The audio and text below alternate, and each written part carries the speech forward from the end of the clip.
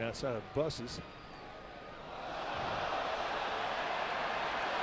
All right, I'll let my partner describe this. Well, not much will make Tim Lincecum smile in the course of a game, especially when he's down two runs. But this pitch might. Whoop! Where, he didn't even know where it went, and it almost came back and hit him on the head. I mean, it almost rolled over for a strike.